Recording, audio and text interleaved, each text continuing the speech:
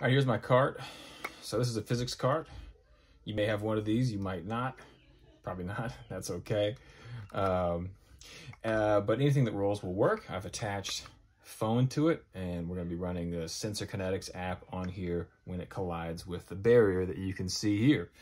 And another video, I'll talk about all the different iterations I went through with this barrier and how I chose this one. I've got a ramp set up here with some Hot Wheels tracks, but you could use anything. Uh, you could take a cardboard box and make a ramp out of that. Um, and I used a couple of spare boxes I had, and then I filled this this jug up with water to hold the tracks there. And I'm going to use these blue dots as starting places so that I always test my barrier from the same height every time with the same device.